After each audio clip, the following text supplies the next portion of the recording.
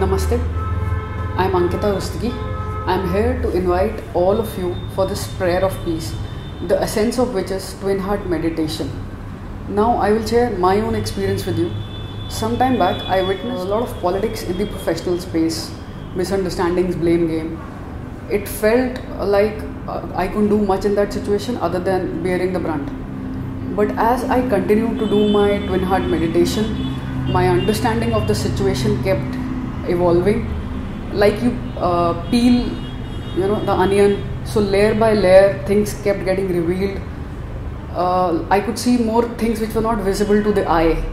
And eventually resolve and come out of the situation with a lot of patience and understanding.